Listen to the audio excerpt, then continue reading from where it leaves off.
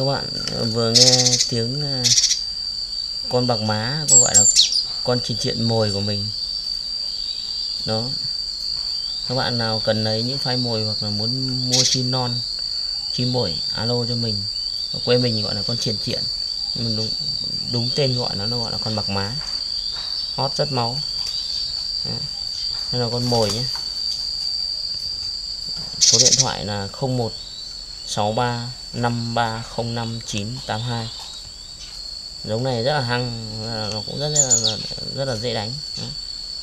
Cái này hot rất mau rất mau mỏ luôn.